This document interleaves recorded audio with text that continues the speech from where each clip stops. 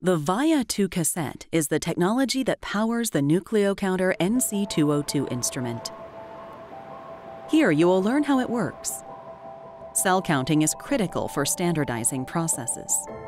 However, most methods give large cell counting variation and systematic operator biases.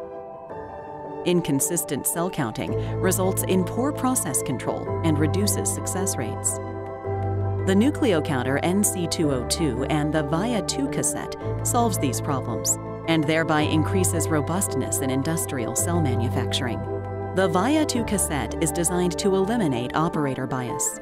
It reduces the complex process of sampling and cell staining cells to a single step. The cassette is inserted in the nucleocounter, which uses microscopy images for specific detection of live and dead cells. The cell counting results are returned in 30 seconds to an intuitive user interface.